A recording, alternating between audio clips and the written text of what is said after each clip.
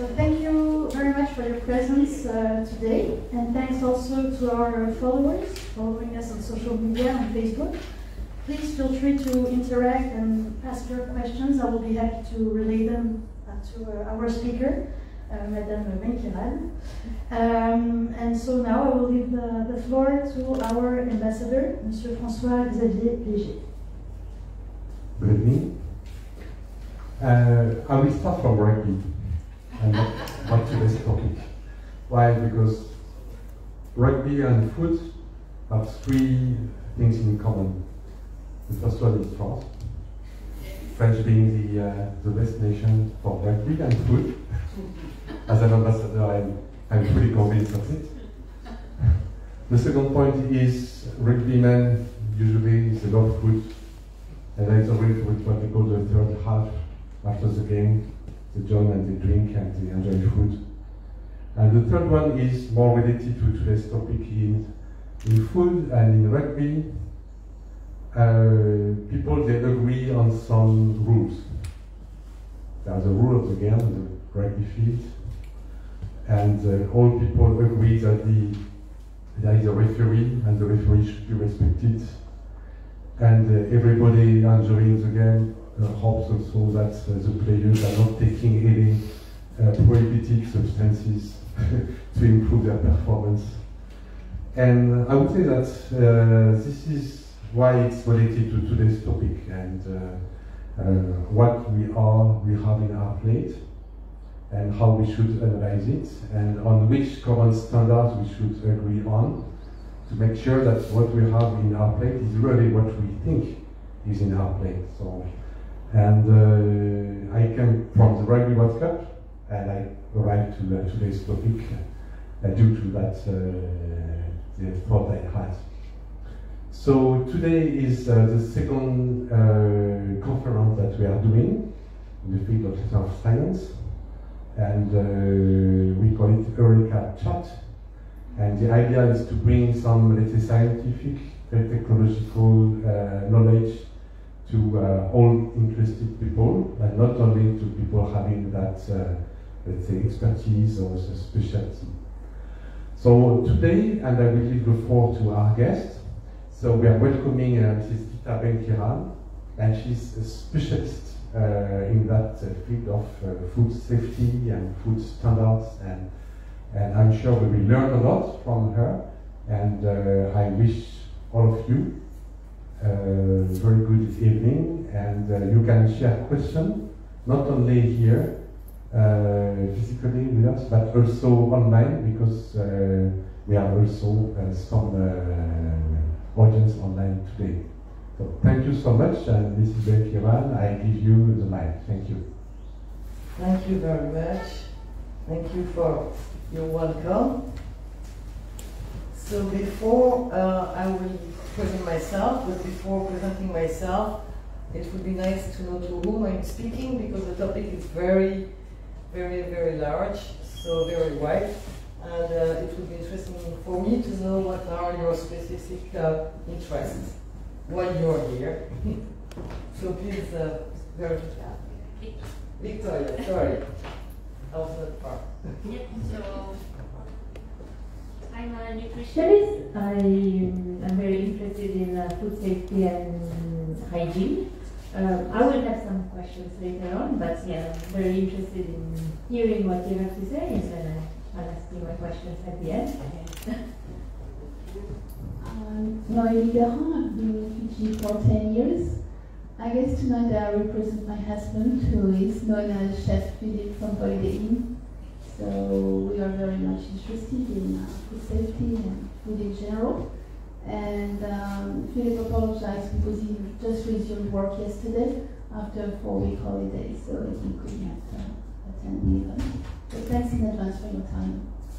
Thank the knowledge you will be sharing. Thank you, and I think there will be a replay, so you can watch the conference afterward. So hello, my name is Quentin. Uh, been in Fiji for almost two years now. Um, I'm an engineer in water treatment, and I'm here most, mostly out of curiosity based on what was advised, so I'm very, very curious. Hello everyone, uh, Jessica from Consumer Council. I'm here next door with Inash. Um, basically, uh, at the council, the Consumer Council, we receive uh, complaints relating to food and safety issues. So it'd be interesting to um, uh, hear from you in terms of how we can uh, improve perhaps our knowledge uh, surrounding this area. Uh, Hello, Bianca. Uh, as Jessica said, uh, Vinod, I'm the manager campaigns, information and media the Consumer Council of Fiji. I'm also the project manager for the Consumer Council. Uh, so as Jessica has mentioned, so when it comes to uh, food safety, the Consumer Council of Fiji, uh, as the custodians of consumer rights in Fiji, we oversee that. Uh, we, uh, we try, we always try to ensure that food safety is maintained. Uh, on the other hand, we also look at issues pertaining to food security and sustainability as well. We get a, a, lot of donor funding, especially from Consumers International, that's the international membership organization for consumer bodies, to conduct special projects uh, pertaining to food security. Thank you. I will come and have a meeting with you because I will uh, tell you about my project, what I'm doing here, because I need to meet the consumers associations. Thanks for being here. Okay, we have just taken post in Fiji three weeks ago, and like a lot of people, I'm interested about what's in my plate, especially here in Fiji. Thank you. Uh, my name is Hugh. Uh, Hugh living in Fiji. I'm also very interested about this subject. Thank you.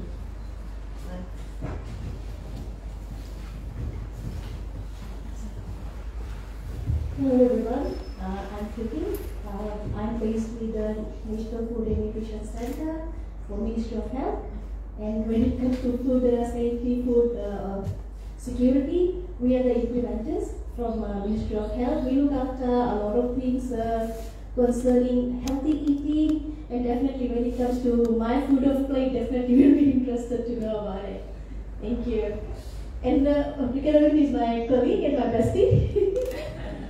Sorry, I think I'll introduce myself. Uh, my name is Moon. I'm a medical scientist by profession, and I work uh, for WHO, but uh, a technical assistant to Ministry of Health and the Family Health Unit. Thank you. Thank you very much. We also have uh, Abel online. Uh, he's part of the Social Innovators Group of the French Embassy, and he's watching us from Australia. Thanks.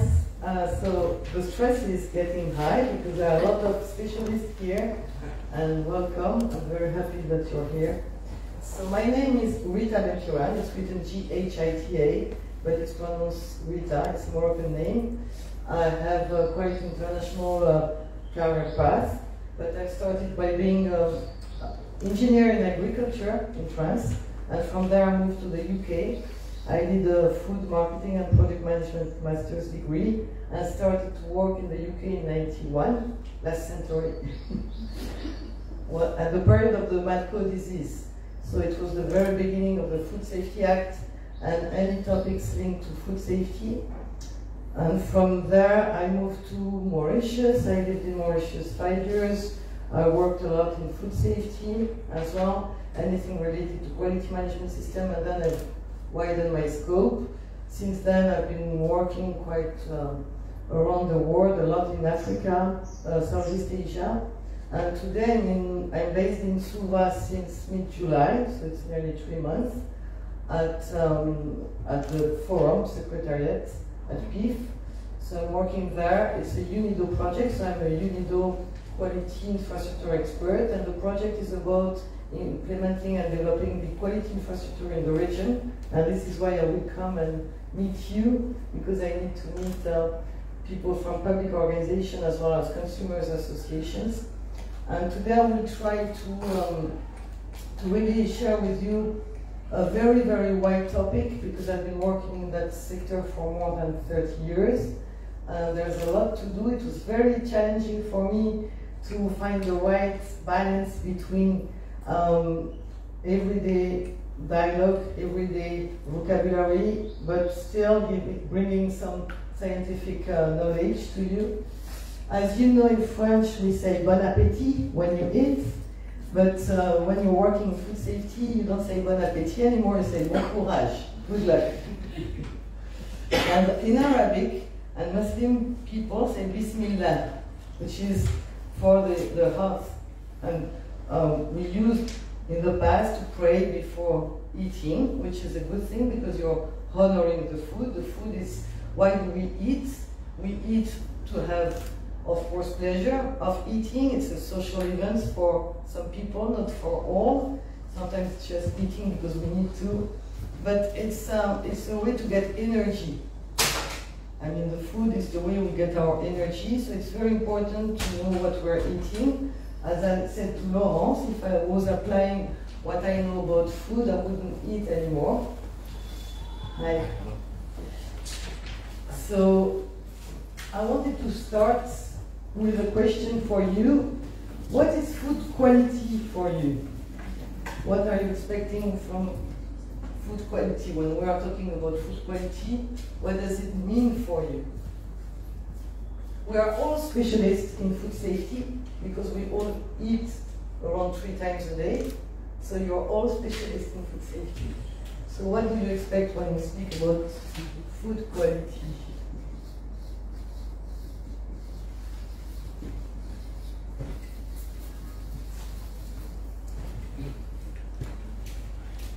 For me, it's about ingredients that are good for your health.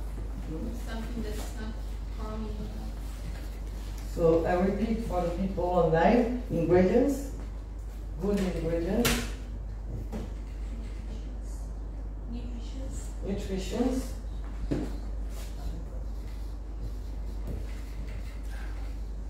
So we eat to get nutrients, vitamins, and to get our energy from food. Well, something that doesn't make me sick or kills me. Yeah. So doesn't make me sick or kills me.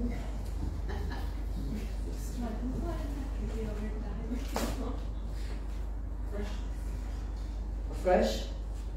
It's also about how the food is cooked and stored. Yeah. the way it's cooked, stored. Tasty, also tasty. Thank you. At least some pleasure. Tasty. Yeah, you're very technical. We're not uh, at, at the university here. Just say what you're, when you are ordering a food at the restaurant, what do you expect? You're not expecting food asking not to kill me or being well cooked or safe, but to have pleasure. I mean, it's very important to have pleasure. Maybe some people don't have pleasure eating, but I think it's very important to have that pleasure. And at the same time, try not to be killed. That's a, a benefit. So pleasure is important. What else? Anything else? Traceability. Interesting. Very technical. so let's put it here. What What do you mean by traceability? Food has a story, it comes from somewhere. It's, Okay, it's more than just food, it's everything that goes around it. And this is a very technical aspect which is very important because as soon as you harvest a vegetable or you uh, slaughter an animal, the food is, is starting, is died. So it's starting to ripe and you have to preserve the food until you consume it. What else? And although you need a PhD to understand the labels, I always expect, you know, some labeling. So, Okay, so labeling. yeah, if I buy some processed food, And what would you expect on your labels? uh, where it comes from and, you know, label the, uh, what, what they have included in the food, so the food lasts for sometimes, you know, things like that. So traceability, yeah. Additives, you know, like colorings, you know, and like what they're using to, for the food to have a life on the shelf. Yeah. Okay. Organic. And why do you want organic food? Well, recently we found out that a lot of vegetables that are sold in our markets, uh, uh, way too much of fertilizers added to it. So from usually promote organic, uh, homegrown vegetables. Mm. So that's what I'm doing. So what we want as well is uh, to make sure that it's tasty, it's safe, and we'll see that there are many different kinds of, uh, of hazards in foods and chemical is part of one hazard that has to be considered. Okay, thank you. If there is any comment on, on live, Laurence, don't hesitate. Not at this stage. Okay, but, and if you have any question, I'm happy to answer your question. And water is part of the risk as well.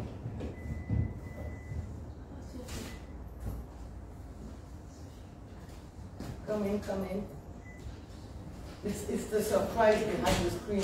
you know, it's just like a theater. Buddha. So what we look for food when we talk about food quality, uh, you said that nutrients, vitamins, the taste. So this is what we call the organoleptic quality of the food, how it tastes.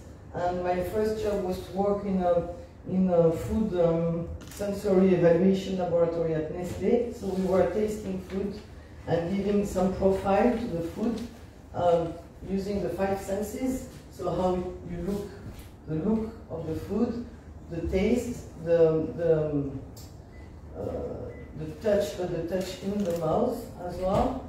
And uh, it's very important because uh, we use those those sensory analysis profile to give some technical specification to the food industries. For example, we know that olive oil, uh, the more you go to the north of Europe, the people want it less green, and the furthest you go down, they want, they want to have a real green olive oil. So in Morocco, for example, the olive oil is much greener than in the UK, for example. So we are adapting the food taste to the uh, target market as well. And I will speak about uh, the way we do neuromarketing at the end of that conference. Energy, so uh, food is bringing um, kilocalories, so this brings you energy.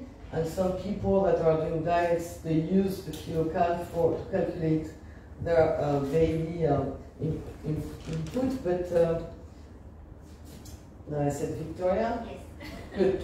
Good. Victoria will give you more information than I will because she's a nutritionist, which is not my part. But what is important as well, it's not only about energy and nutrients, but as well acid and basic foods. We know that uh, acidic food is not good for the health, and it can even bring some cancer. So we can get cancers from eating. And um, when you have a food safe food uh, poisoning, outbreak, it's very quick, and I'll show you some uh, deadlines and the days in terms of uh, getting sick. But the problem with chemical like uh, pesticide and phytosanitary products is that it's a long-term effect, and this is really uh, the problem today with uh, processed food. And you, you would expect to have vitamins, which is very important because the way we would process the food, we would try to keep the most vitamins in the food. For example, when you buy um, milk, if you take uh, sterilized milk, milk, you'll have less vitamins than UHT, which is ultra high temperature. I mean, the way the, the food is processed, you can lose a lot, you're losing a lot of the nutrients and vitamins from the food. So the best way is to have fresh food, but sometimes we cannot, or if we're working in a restaurant or a big uh, catering industry, you need to have uh, processed food. So why do we preserve food? I've started to tell you that as soon as the vegetable is uh, harvested or the animal is slaughtered, it starts to die.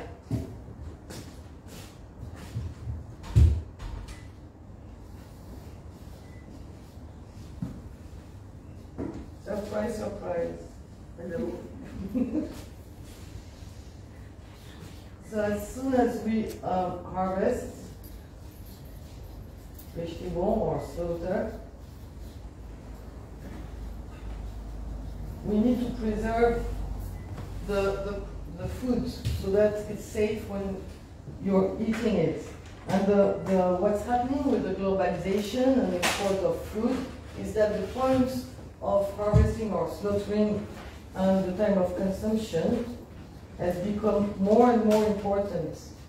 In the past centuries, we were eating food that were very proximate to our houses, eating food from the farm, from around the village, which is still the case in some traditional places, but still they're using chemicals today.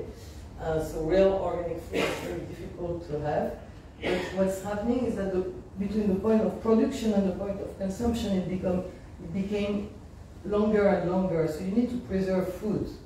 So how do you think they were preserve, preserving food in a traditional way? Do you have any idea of the way we were preserving food in the past? Salt, salt, drying, Burning. smoking, Burning as well? Burning? Putting Yeah. as well? Especially root crops? yeah. Honey as well. So it's uh, preserved by uh, sugar. Sugar is a way of preserving food as well. So what we were doing, I mean, the bacteria needs, bacteria is like that, huh? That's my bacteria. That's my friend. Bacteria needs uh, five things to develop. Heat, it's at the right temperature. Humidity, water.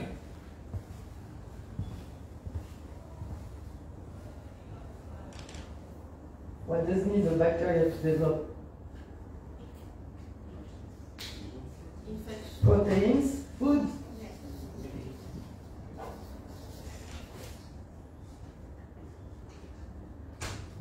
Two more. Time. Time, very important. Because the development is exponential. And the right pH, acidity. Okay? So the normal, the most common bacteria would develop in uh, normal conditions, but some bacteria don't like water, for example. Oh, sorry, I forgot the sixth one oxygen. Because some, some bacteria, they don't like oxygen, they are called anaerobic. And so we remove the oxygen as well in most of the food to preserve the food. So the way we preserve, for example, if you dry the food, that means you remove one factor. You remove the water. Okay? If you put um, salt or sugar, you remove the um, water availability in the cell as well.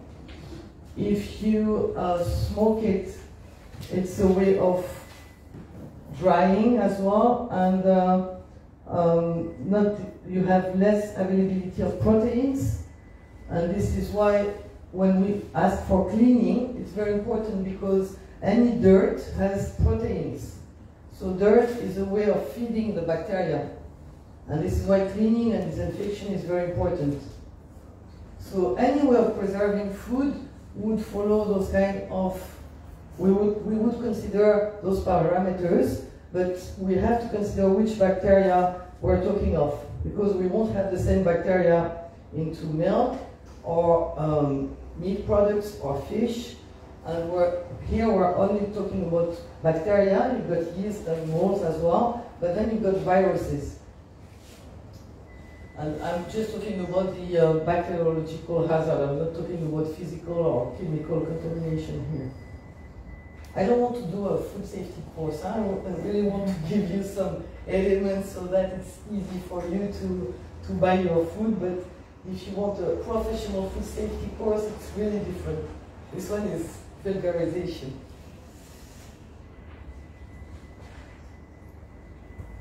So here I forgot one parameter which was uh, ox oxygen, water. Forgot the water here. So every time you want to preserve the food, you have to you have to consider those six parameters. So what kind of food breaks we have? So here you- you have a list. I'm happy to share that presentation with you if you want. Um, if we take, uh, for example, um, listeria. Listeria is the main bacteria that is present in dairy products. Okay, um, we don't have salmonella here, but 90%, 80% of the chicken that you are buying got salmonella. So it's very important to cook them very well. And we'll see the temperature control for that. Uh, when you're uh, having uh, vegetables and salads, you've got Clostridium bifidobacterium here. So you have to clean very well because uh, Clostridium will be present into the soil. And this is why cleaning is very important. E. coli, Escherichia coli, is all anything undercooked, and this is why, for example, raw meat is um, very often forbidden in some places. For example, in the plane, you would never have um, sliced meat, like steaks. And just for your information, the pilot and the co-pilot never eat the same thing.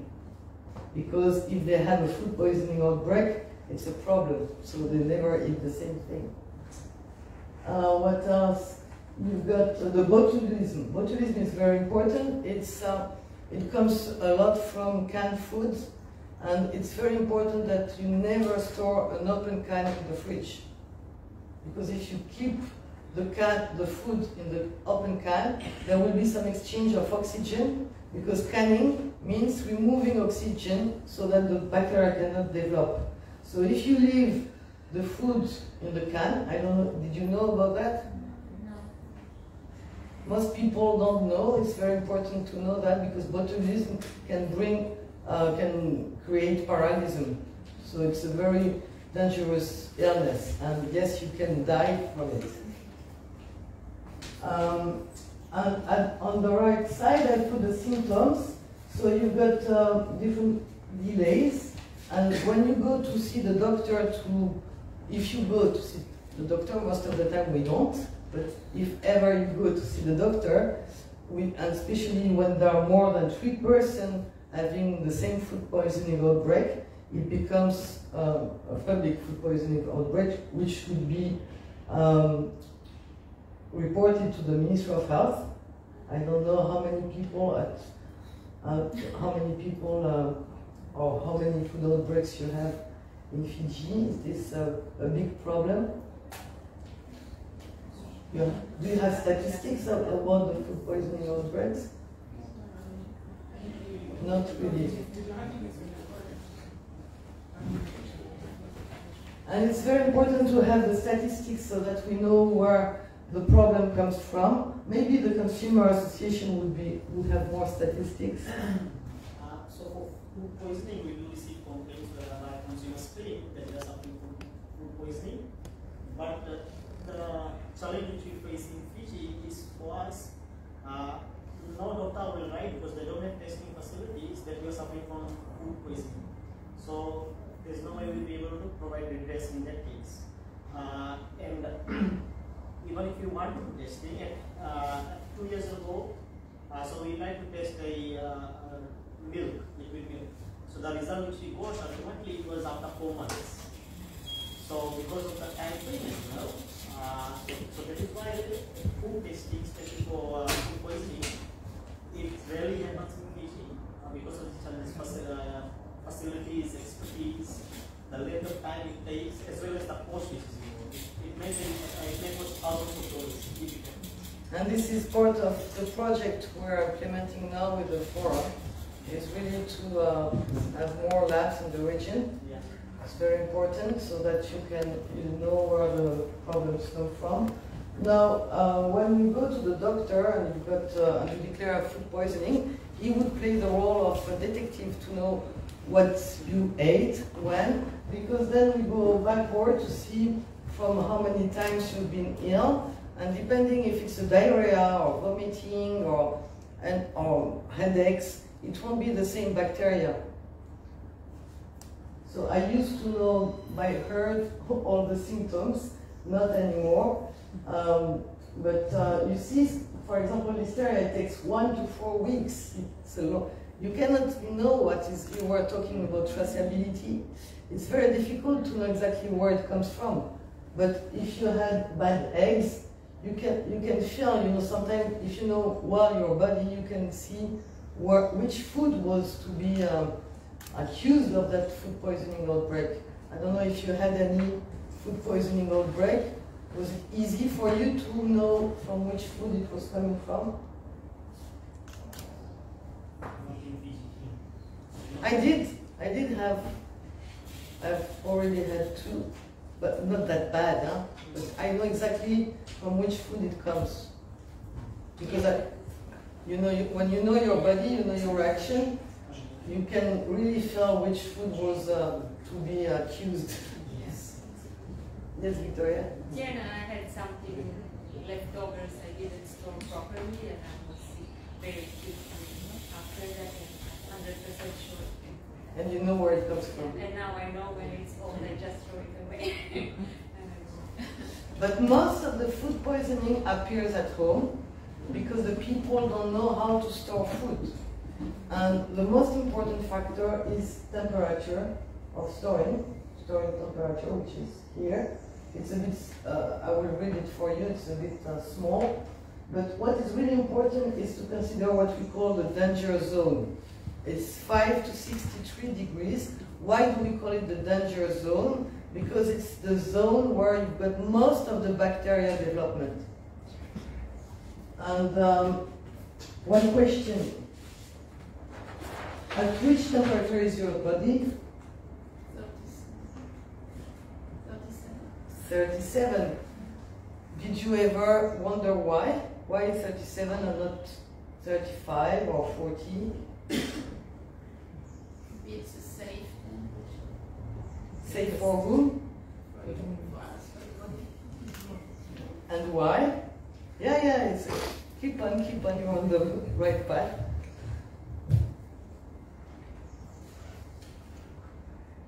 Because we've got more bacteria in our body than cells that help us to digest and to live, and it's the perfect temperature for bacterial development.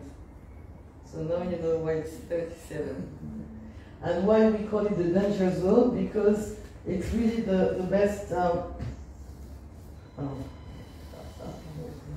this is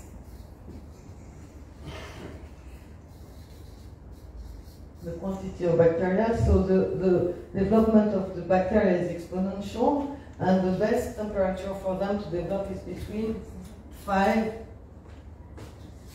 to 63 degree, and this is why we call it the danger zone. So if you want, for example, you have to reheat food, it's very important to go above 63.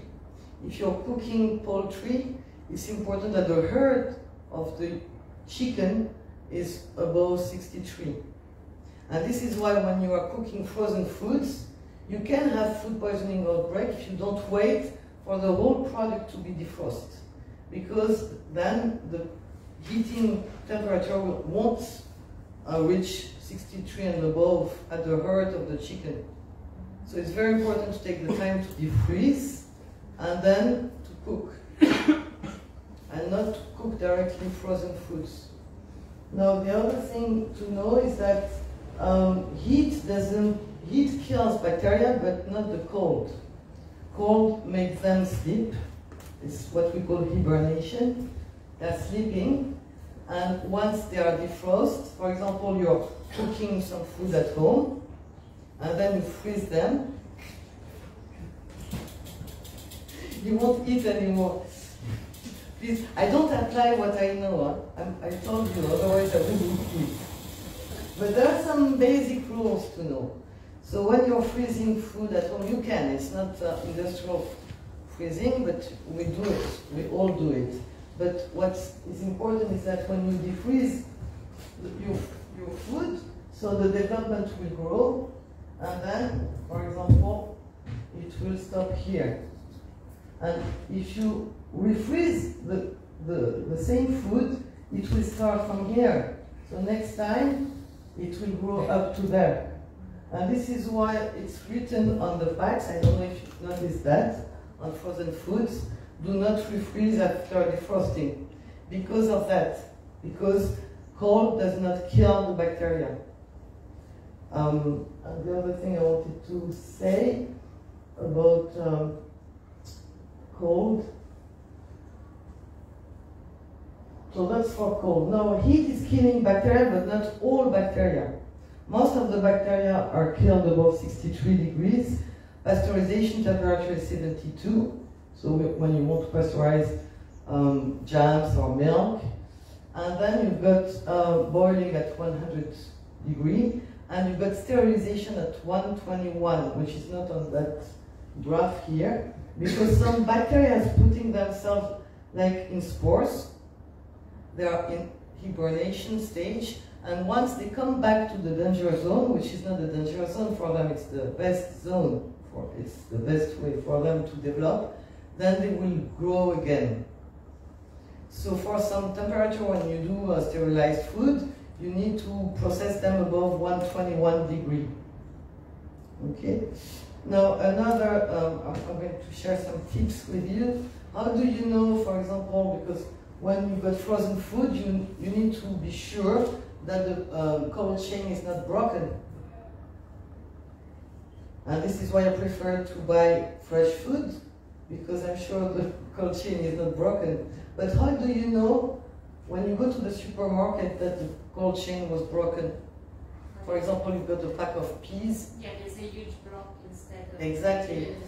Because when it's defrost, the water is coming, and when it's refreeze, it makes ice and it makes a block. So when you buy shrimps or peas or whatever, you need to touch the pack, and if it's a block, that means there was uh, the cold chain was broken.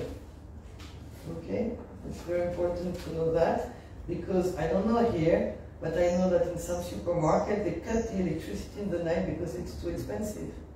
Is it the case here? Yes. yes. Electricity is expensive. Um, when you will go around Fiji, you will notice that there is no um, awareness about how you need to store the food or not much awareness about like validity dates. That's the downside. Expiry date. Expiry date. That's before People do not seem to be very much concerned with this. No, because they were not taught of that, and this is why we do that conference. And um, but it's it's why awareness is really important. I did a project in Tanzania which was really interesting, and I invite you to do the same. I did a project with the Ministry of Education, Ministry of Health, and I used the Tanzanian drawer to show that we can prepare food in a traditional way, but still ensuring safety of food. And it was uh, taught at school instead of teaching stupid things today. we should teach them how to consider safe food because people they don't know. Even the way where you put things in the fridge. They use the fridge as a cupboard, but it's not. And this is why most of the food poisoning outbreak are coming at home because people they, they don't check the temperature of their fridge or they store too much food in the fridge, especially after shopping, so that the temperature cannot be cold in the right temperature. And the fridge should be above 5 degrees. Now the other thing is when you go for a buffet, Below uh, sorry, below, thanks. Not above, below. Thanks. When you go in the buffet, uh, they, they are preparing food in advance. So my advice, or what I'm doing, is not to consume anything which could have been stored to, because if it's stored outside in the danger zone more than two hours, it can become contaminated. So I try to avoid mayonnaise or anything with dairy products. So unless I know the place, for example, I'd be very happy to eat uh, at your place because I know there's some awareness, but in some places, um, when I travel, I do buy food and meat which is just uh, put outside. I will make sure that it's cooked, well cooked, never take raw meat. I used to eat raw meat when I was a kid, but not anymore. And uh, always make sure that it's very well cooked. And when you reheat your uh, leftovers at home, make sure it's really above 63 degrees. Um, any other question? Yeah. I, had a, I a question about uh, botulism. Uh, you were saying that uh, you're not supposed to store uh, canned food once it's open. So what are you supposed to do with leftovers from canned food? Are you supposed to eat the whole can? No, you can transfer it to a, um, a food uh, container. Okay, just get it out of the can. Yeah, yeah. Okay. It's the metal that would have an exchange of oxygen with the food and can contaminate the food. Don't leave any uh, metal can open. Going back to this, um, I mean nowadays a lot of the cans have got a, a special white covering in it, so it's not metal, it's a white plastic. Uh, is that enough to protect us from any case of botulism? No? That's, that's a tricky question. Because you don't know what I'm referring to. Um, Yeah. Of these cans with, which have a white lining in, inside. Inside this. Ah, inside? No, no, it's, uh, this is, well, this would avoid the contamination of taste. It's not like a metal, but still, it's still metal. It's still uh, sterilized cans. They need to be in metal because they're getting into a, a process which is uh, heated above 121 degrees, and it has to be uh, metal. Okay, thank you. It's a kind of aluminium. Mm. And the other question, you, you were clear about uh, never heat um, food from frozen, but I mean, if you heat frozen food long enough, you're in the safe zone. It's just a question of how long you do it. If you throw it in a soup and you boil it for 20 minutes, then you're fine, aren't you? Yeah, but you have really to taste, to test with a knife that it's really uh, the, in, the inside, especially, especially for ducks or poultry or meat. You really have to make sure that the herd temperature is above 63 degrees. Because if it's still frozen, it's not the case with fish because they defrost very quickly, or, or shrimps. But with a big turkey at Christmas time, there are a lot of food poisoning outbreak because of that, because we're cooking, we're not waiting that the turkey to be completely defrosted before cooking. Thank you. Any other question? No? The organizers as well can ask questions. Investor, for example. So, How, I have one question, sorry. Sorry. Somebody mentioned the importance to try to eat organic food, but how we can ensure that this is really organic food with no pesticide or fertilizer? Because I, I was posted in Nepal during several years, and there, there was no real control of what kind of pesticides uh, farmers are using. And they were even poisoning themselves by using these pesticides. How, can we ensure good, let's say, traceability of the food and the certification of the food? Thank you.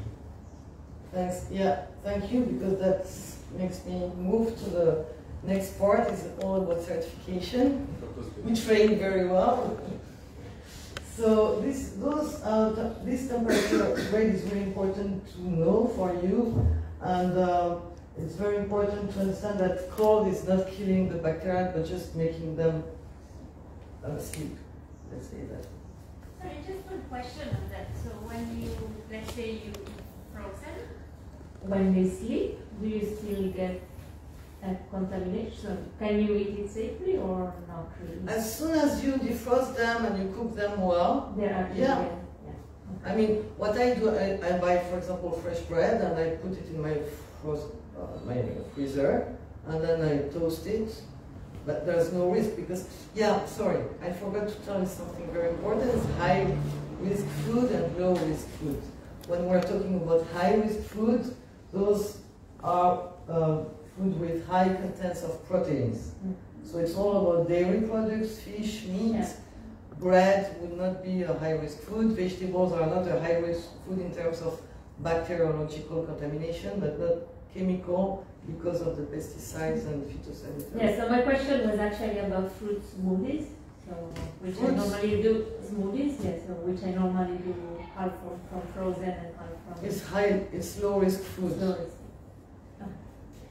But if there is a content in uh, sometimes milkshakes, that becomes a high risk food. Yeah. But yeah, it's very important to make that distinction. Um, the other thing to consider at home is cross contamination. the most important vector of contamination, it, do you know what is the most important? Uh, the hands. The hands are the vector of contamination, and this is why we need to clean our hands uh, before preparing food, before um, manipulating raw meats and vegetables, for example, or cleaning the knife, or cleaning the uh, uh, Chopping board. chopping board. Yeah, and uh, never use the same knife to cut tomatoes and raw meat because otherwise uh, the knife will become the vector of contamination. When you go and put your garbage out, you need to clean your hands back. I mean, it's very important to clean the hands. And there was a study in France where they showed that if the kids were cleaning their hands good enough, there would be 40% less absenteeism at school. And during COVID, everybody started to clean their hands very well, but now it's back to normal. And my kids said, Mom, do we need to clean our hands more? I said, no, I think it's enough. They've been used to always clean their hands. I mean, uh, I, I don't know about you, but I cannot eat if my hands are, are you know, sticky and dirty. It's not a good sensation. So it's very important. The other thing is when you go to, to the shop, they are manipulating money and food with the same hands. So that's uh, uh, money is a really high vector of contamination. So it's very important to um, not to be paranoid. Don't be paranoid, otherwise you wouldn't eat. But you know, basic uh, rules of hygiene at home because you're at home. But when it goes to food industry, it's different. Why it's different? Because we're in food industry we are manipulating volume, and we're talking about big volumes to be exported, and the length of time between the production and the consumption is much longer. Whereas at home, it's, you know, it's small scale. It's, you are killing only your family. I'm joking. but uh, we've got um, more, I mean, the globalization made the food safety a big issue, a real big issue, especially because of that length that is bigger, and we need uh, um, more I mean, caring more about food safety, and this is why we implement food safety management systems. I will speak about organic food as well. So we have a change of uh, behavior, change of trade, change of agricultural practices, because in the past we, we would have been sure that uh, we're eating organic food in less developed countries because they didn't have chemicals, but now the problem in a lot of countries, I don't know about Fiji uh, agricultural practices, but if I speak about Morocco where I grew up, when we were kid, I was a kid, it was all organic because there was no chemicals. But the problem when they started to import chemicals, the farmers did not know how to use the right dose, and you've got to respect some delay before harvesting. So what I did in some agricultural farm, I put a red light and a green light. Red light would say no harvesting because we, we have to respect the delay before harvesting and green light you could harvest. So for each kind of products, and they don't know, most of the time they don't know how to read, and they don't know how to use uh, the right dose. And um, my last project was in Madagascar, they were importing food from China, it was all written in Chinese, so they cannot respect the dose. So labeling is very important, and this is part of uh, food uh, safety regulation is to ensure that the label is at least in one language of your country.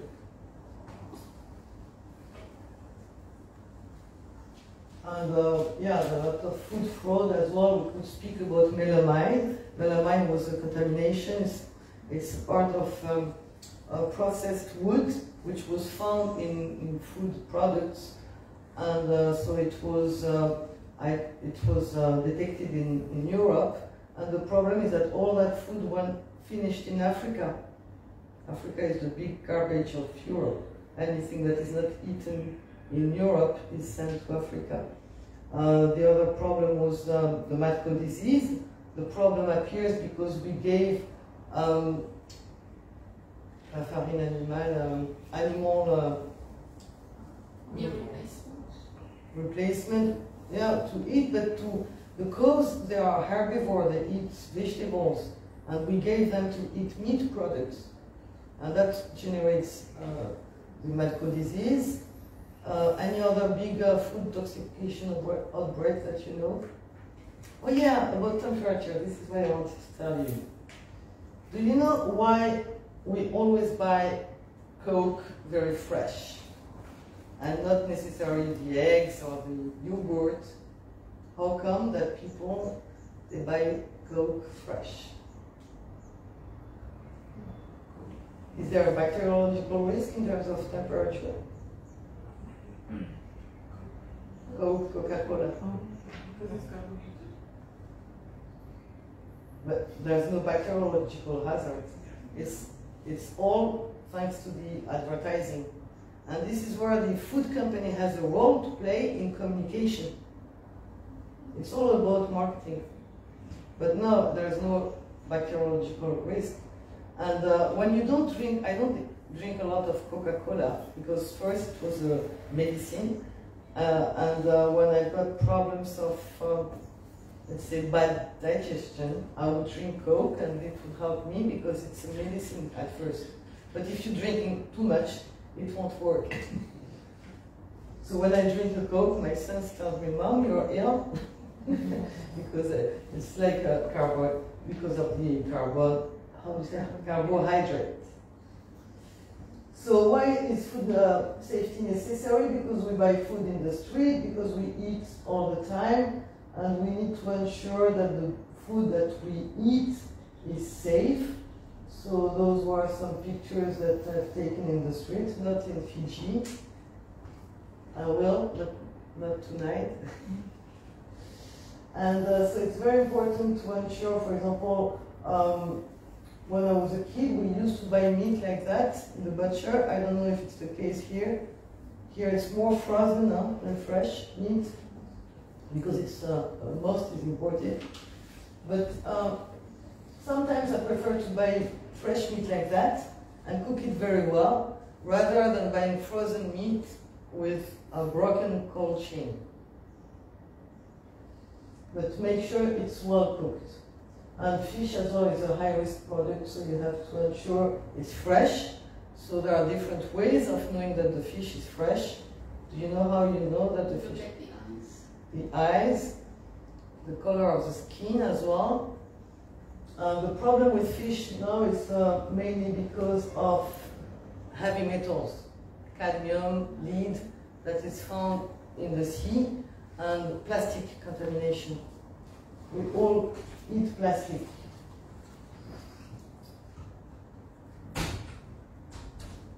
So those were pictures taken in Madagascar, I think.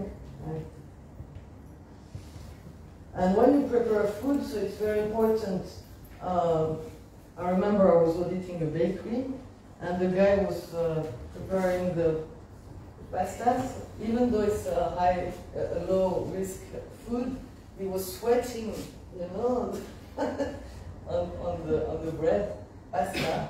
So it gives a, a bit of taste to the bread.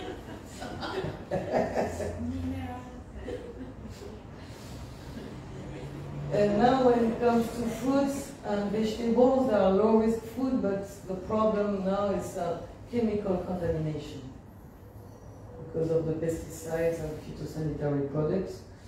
Um, so the, this is milk left over. The milk is a very high risk product. It's very important to, uh, I don't know if in Fiji we buy raw milk still? No, it's not allowed. It's not allowed? By law. Okay. Because when I was a, a kid, I, my grandparents had a farm, so we were bringing raw milk from the farm, and we were boiling and boiling the milk very long. It's not allowed, but dairy for like four and a half years. So um, by law it's not allowed, but you have a lot of what they call village cattle. Mm. So it's not commercial dairy, it's informal uh, dairy. So yes, in uh, the villages, uh, a lot of raw milk is being exchanged, but uh, it shouldn't be the case by law. And what is really important in terms of uh, national industries, and I'm talking to Ministry of Health people, it's very important not to kill traditional industries. Because if you impose, I will speak about HACCP system a bit later, which is a food safety management system. If you impose that by law to all food industry in the country, you kill your local industries. So it's very important to consider the level of risk. What, what is the uh, market, um, what is the market? How far is the market? Is it national, is it regional, is it international? And um, food safety management system should be very strict as soon as we export and uh, the distance of consumption is far. So it's very important to have a risk approach. And this is why I invite you not to be paranoiac. What you need to what you need to know is that uh, many farms in Fiji do not have water. And if they do, it's only cold water, so they are not going to take out um, the proteins because they don't have the right detergent to do so. They're only cleaning the, the buckets with uh, a bit of cold water, and at times they don't even have water to do that, so they're just like wiping the, the buckets. Nice to know. Thank you. Why do you exactly?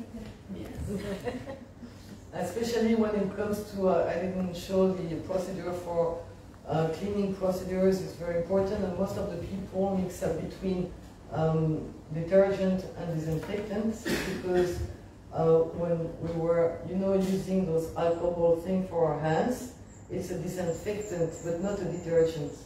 It's not removing the grease. So when you have cleaning procedures, you've got five steps. First is to rinse the big uh, dirt, and then you put, uh, you have to put detergent, rinse it again, because if you don't rinse it well, the disinfectant won't have the same power of disinfection. So there are very precise steps to do good cleaning. And using alcohol for your hands does not remove the need for washing your hands with the soap. And it's even bad for the, for the body because uh, your skin is part of your body and it's, a, it's an organ as any other. And it's not a closed door for the uh, inside organs, so all the alcohol that you put on your hand will get into your body. So if you give that to kids, you're giving them alcohol. I won't speak about all the preservative and E, uh, 141, tartrazine, and all that stuff, but one question. How do you clean your How do you clean your fruits? I'm curious of like I don't use chlorine as my aunt is using chlorine because it's a source of it's cancerogen. How, I, how do I clean my fruits? Depends which fruits. No, the fruits. The fruits. And vegetables you buy on the market. Just water. Maybe salads a bit more. But just, no, I don't. I just put water and I pray. So rather would be running water rather than putting in a bowl. No, no, I would leave them in, in, in, in a basin with water, but no vinegar, no chlorine, because of the taste. I don't like the taste of vinegar, but I would uh, really rinse them very well. But you know, water, even vin vinegar, you've got in Europe, in average, 127 products in a salad. So, and it's not hydrosoluble, so even if you clean them with water, it will stay in the cell of the salad. So I prefer to be sure about the source where I buy my food. And when I lived in Morocco, it was great because I've implemented some HACCP system in King's Farms, so I was buying from there. And I was sure that it was real organic. That's one part of the question. question? Not, not, sorry, not a question. I just wanted to remind the people following us on Facebook that they can also ask uh, questions if they want. Yes, please. Just as a follow-up about the ambassador question about uh, organic food, so that was actually for Kriti, because uh, you mentioned that you were finding as a, the Ministry of Health that uh, many fruit, uh, fruit and vegetable vendors would have uh, products that are high in fertilizers. Do you have any publicly available data about that? Uh, right now, Ministry of Health, Ministry of Health does not have any data on that it's Ministry of Agriculture, and uh, till date we are still waiting for information from them. Let's be diplomatic. So uh, I was attending a forum, I think one month ago, uh, and a staff of Ministry of Agriculture I was presenting there. And the staff accidentally revealed that the ministry did a uh, testing, a survey uh, on the pesticide level of different foods in Fiji, fresh fruits and vegetables. Uh, but they decided to withhold the, the report. So we so we just wrote to the Minister of Agriculture directly asking that he uh, publicly release the report so that consumers can make informed decision. So if there's any developments, we'll let everyone know. I will speak about um, food safety management system and what one very important system is called HACCP system, H-A-C-C-P. So do you know what means HACCP?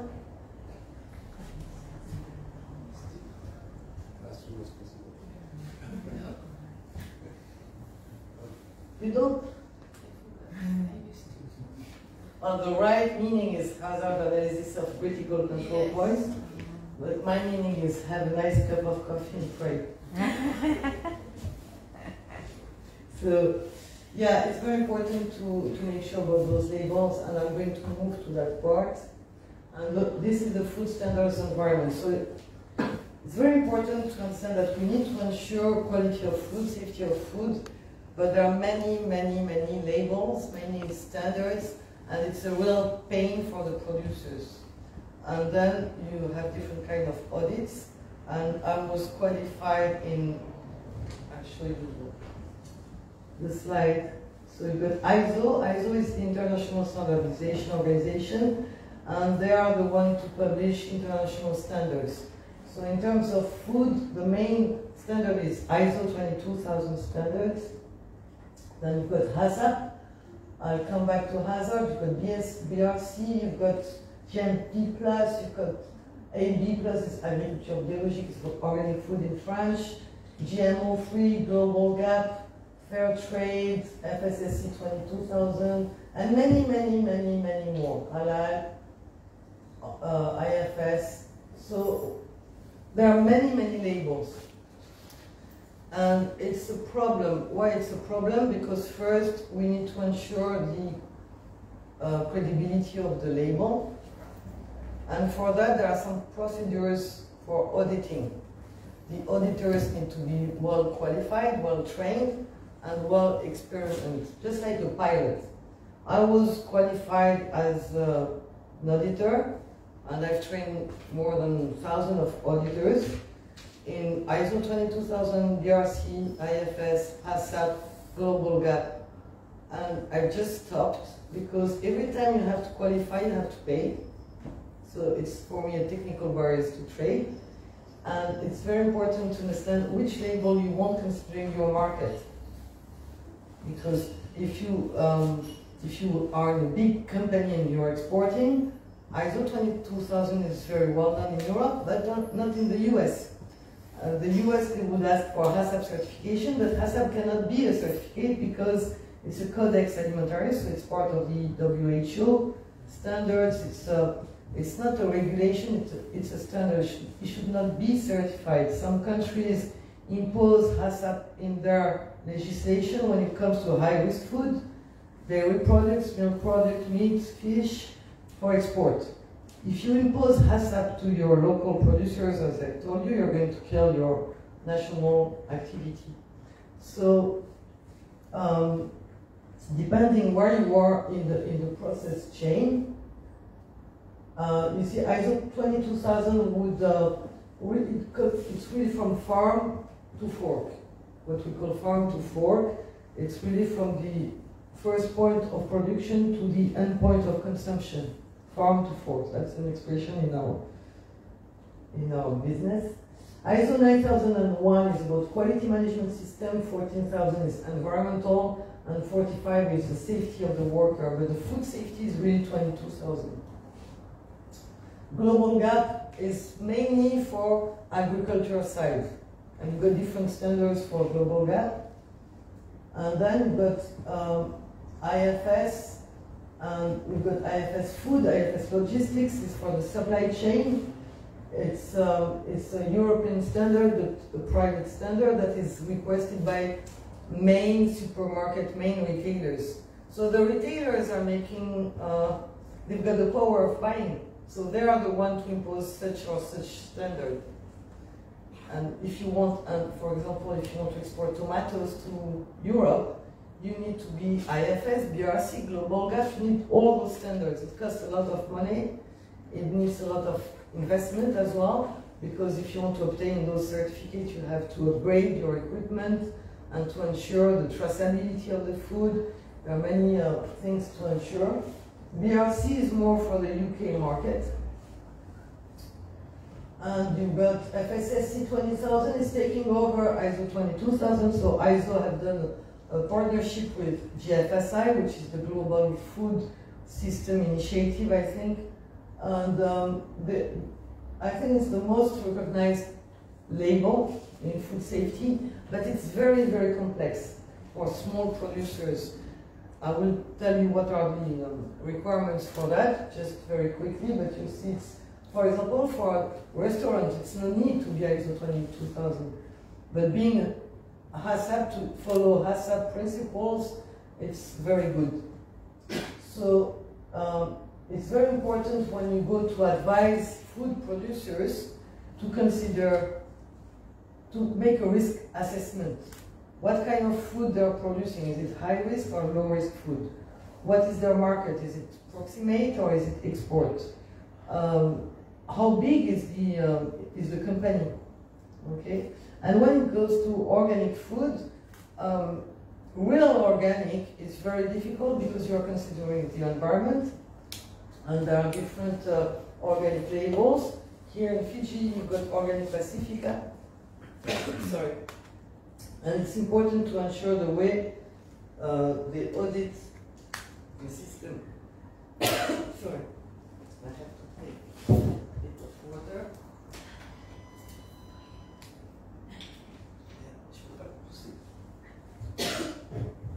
So it's important to ensure that the, uh, the audit is well done with qualified auditors. So it's not only the label, but really what is behind the label, how it is done. And when I was in Morocco, I was the managing uh, director of a certification body, which is AFNOR, which is a French certification body. And we would have audits from COFRAC, which is the French accreditation body. So when, let's go back.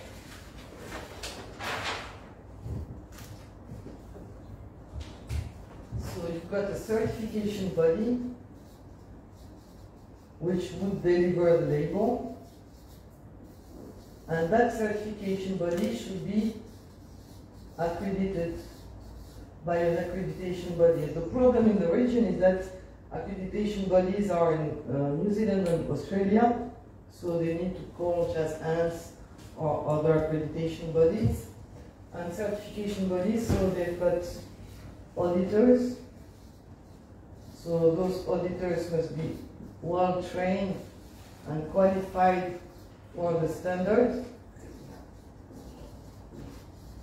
So if you consider one organic standard, they should be trained to that standard. If you consider a hazard, they should be trained to the specific standard. And then you've got the audit process.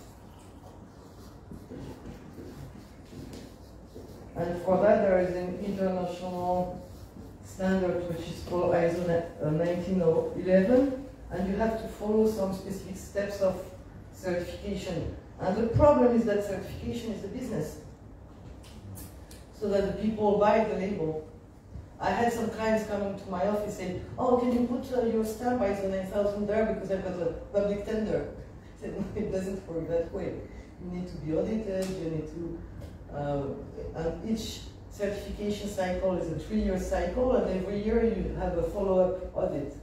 And this is what we're trying to do in that project with the forum, is really to ensure that there is a regional quality infrastructure, and by uh, next month, in November, we should launch the regional quality policy, because some countries, they are too small to have their own national standardization body, so there's one in Fiji, which is part of ISO, And uh, two weeks ago we were at ISO annual meeting in Brisbane to see how the region can uh, have a regional approach and share competencies and qualification of people in terms of auditors, testing, uh, laboratories, metrology, and this is all about the quality infrastructure. So it's very important, you as public and consumer association, to create awareness for the uh, local producers not to buy a label like that. Awareness is very important. It's very important to understand there's a process. I've met the people of Organic Pacifica and they are doing a good job at SPC. They've got qualified auditors. So you have to make sure when you buy a, a certificate, a label, what is behind. And you can check on the website. Because some certification bodies, they need to have the accreditation is linked to the scope, which standard, and which geographical area. And some certification bodies are not credible. I had some clients asking me to audit their suppliers that were certified to check it was credible, it was the system was really there. Because as long as it's very important to have labels, but you have to be aware of what's behind.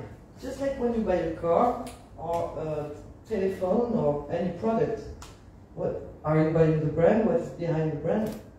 When you want to check the uh, technical uh, specification of the product. Now, uh, there is organic farming, which is very difficult because you have to consider the environment. And there is sustainable farming, which is a bit less strict than organic farming.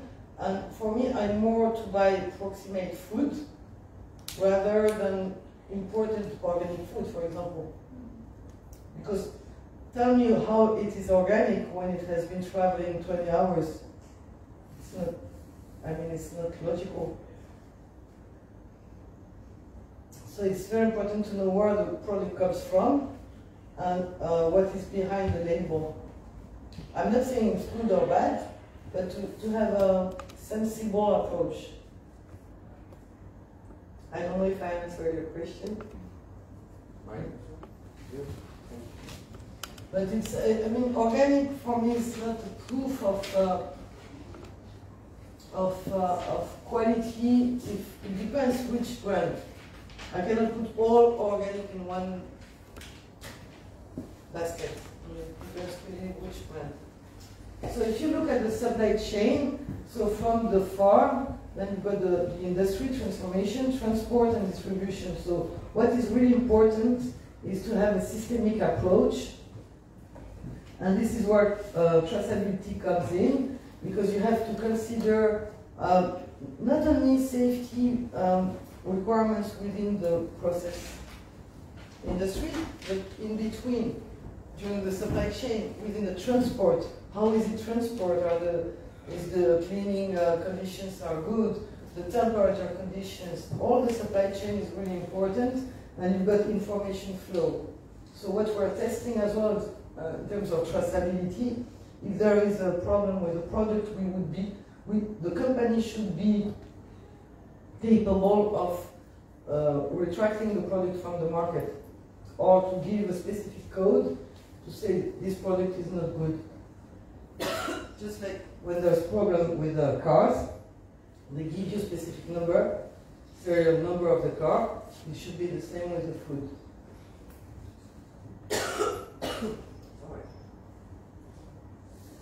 so we've got regulatory bodies, so Ministry of Health, Ministry of Agriculture, uh, Ministry of Industry, and standardization bodies. So here, what we call NSBs are national standardization bodies. In Fiji, it's the DNMTS, and it's uh, launched at the Ministry of Industry. In Australia, it's Standards Australia. Uh, each country's got their accreditation bodies or certification bodies. So we have to ensure as well the supply chain, so you need to know from where you buy, I know you ensure the, the supply of the restaurant, but I think it's a big challenge. and the general society, the people, they should know, they should be aware. I think education is very important so that the people, they know what they eat. I mean, they're really caring about their portable phone, but not what they're putting into their body. So it's very important to create awareness. And uh, yeah, the bank and insurance can play a role as well because some some banks give uh, loans to help the companies to develop their certification, their training, and it's in terms of capability, capacity building. And uh, this is the whole uh, food safety uh, supply chain uh, for the ISO 22000, but I wanted just not to stay too long. So the key principle of ISO 22000, you see, we have HACCP plan. That's the basic of the ISO 22000, but then you need to have a traceability system, which is very important, supply chain management with interactive communication with what happened before with the raw materials and what will happen after at the retail stage. Uh, systemic approach, the PDCA, PDCA means plan, do, check, out, so it's an improvement loop, or it, or it could mean please don't change anything, depends. and PRP are prerequisite program. So you see here it's quite complex. This system is good for food factories that are exporting a larger volume, like a company like um, Pure Fiji, for example, or any that kind of companies that are organized, they can, they can put that, but not the small producers. So the PRPs, the GMPs are good manufacturing practices, and those are the basic, good hygienic practices, good agricultural practices. It's all about uh, the basic hygienic practices. Then you've got the HACCP system, and then you've got the management system.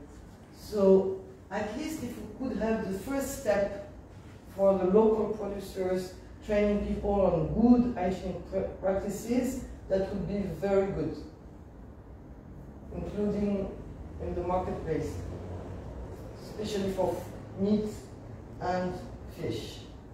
And to conclude and to open to a next step, it will be about neuromarketing. And uh, I mean, we're all programmed to buy food, to eat food, considering, uh, I just passed that very quickly because it's of finished. I just we consider the perception, so we consider the five senses. We choose the food according to our five senses. Our memory is our cultural taste our evaluation, what is good, what, what is not good, our attention to, to which element I will put my attention to, and action will be the decision-making process. And the, the uh, marketer, they know very well that, and they know how to make you buy the food they want. Because there are a lot of principles that are used in retailers, uh, in the supermarket, but as well in, in bakery. For example, in France, some bakery, they're putting more um, flavor of the bread, the cooked bread, which is illegal if you don't produce your bread, but then it would increase the uh, turnover of 40% of the bakery. Uh, McDonald's are using a lot of that as well. I won't say too much. I'll keep it for next time. Uh, but in supermarket, there is a flow. The way you go and do your shopping, everything has been calculated. They know everything about you and they know how to make you buy food and to rebuy food and to get addicted because the first addiction is sugar. And they're adding a lot of sugar in any food, like bread, um, McDonald's, ketchup, all those processed food and uh, junk food. And it's very important to be aware of what you're putting in your body. So good appetite. I'm just on time, but I'm ready for any questions. We have a question on uh, Facebook from uh, Lanieta. So perhaps you can speak on the, on the French side. Um, are there any awareness programs for local schools? And then we can ask uh, the people here present for future schools. Yeah. it's part of the, of the project is to develop some e-learning modules both for industries but for general public as well. But it would be really great to work with the Ministry of Education and to introduce such uh, courses and awareness sessions for the schools.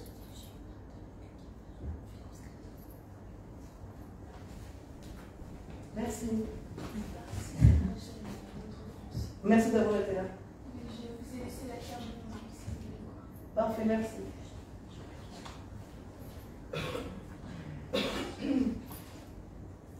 C'est bon, je t'arrête. You want to write here for the pigeons?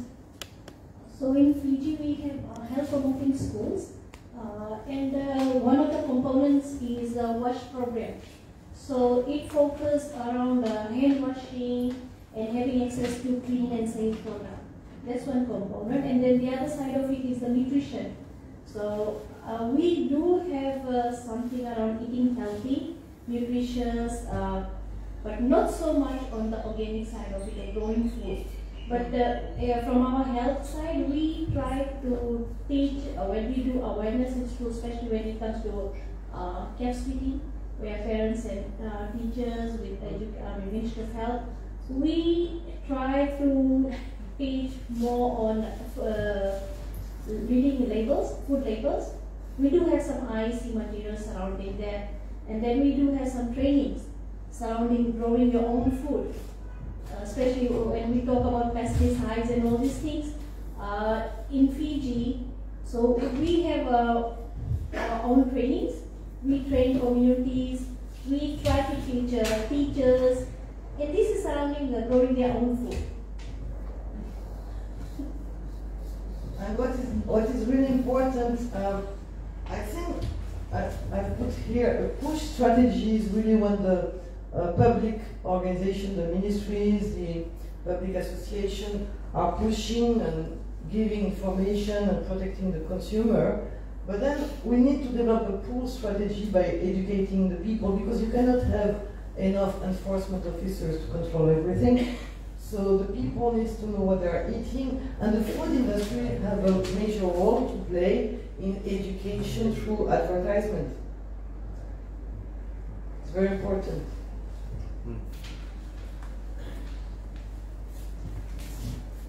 My, question is uh, about the labels.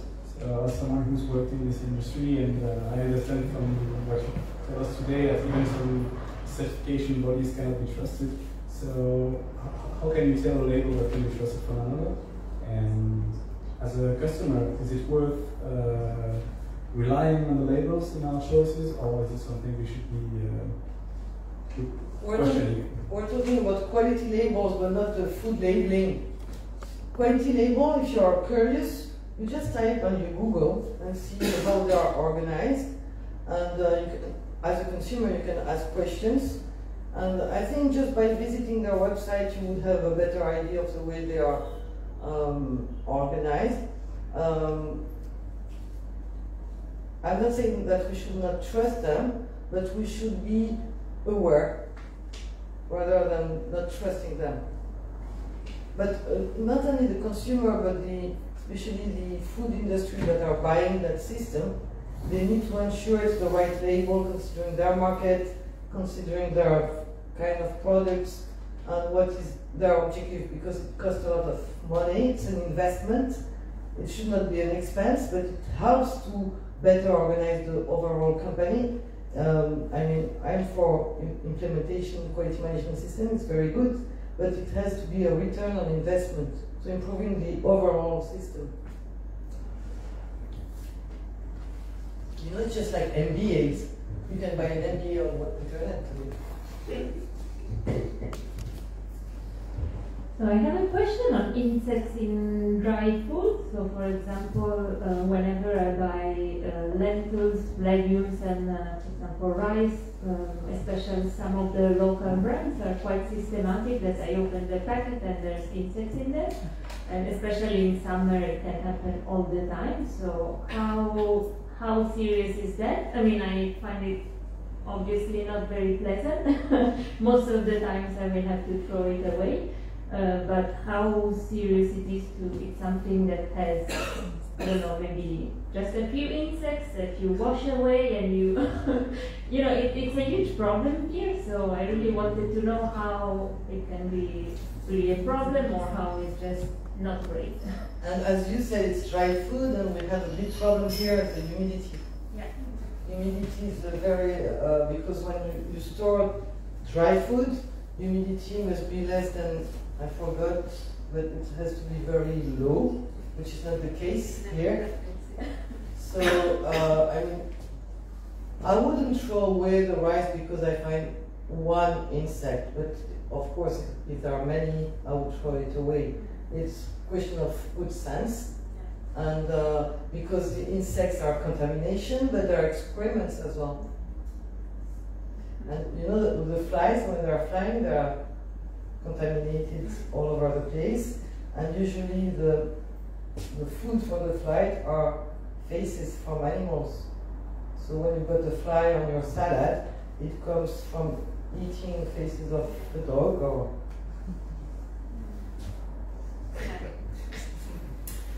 It's nice before an aperitif, huh? I'm sorry. I always feel sorry, but you know when I did, I used to do uh, food safety uh, trainings since uh, more than 30 years and always use videos because the problem we don't see bacteria. People don't see it, so they don't understand the cleaning and way they should clean. They've always done the same way. They're doing everything not to wash their hands. They are very creative in squeezing the washing hands uh, facilities.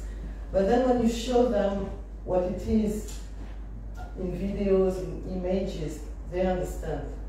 Everybody understands. And they don't need to know how to read or write, but just by pictures and showing the consequences. I think people are not aware of the, the hazard level. And I didn't speak a lot about chemical contamination, but it's really, really bad because we eat every day, and if you eat small dose of chemicals every day, it brings long, long-term illness such as cancers. And uh, we know that allergies and cancers have increased in our society because of the industrialization of food, food processing. So try to eat fresh. Try to have your uh, kitchen garden as well. This is what I'm doing as well. I have my tomatoes and my basil and my salads in France, not here yet, maybe. But try to really uh, eat fresh and to uh, have pleasure at eating food and don't, I mean, don't bother of all those things. Those are more for food industries, otherwise you wouldn't eat anymore. Maybe we can have a, a drink. I'm sorry for the people on Facebook Live. You won't have nice red wine or any nice drink, but uh, we will think of you. Thank you for being there. and please ask your questions on the comments. I will try to answer. And we can continue uh, asking questions around the drinks if you want. Just Martina on Facebook says, thank you for the wonderful presentation. Thank you. Thanks. Thanks Thank you very much.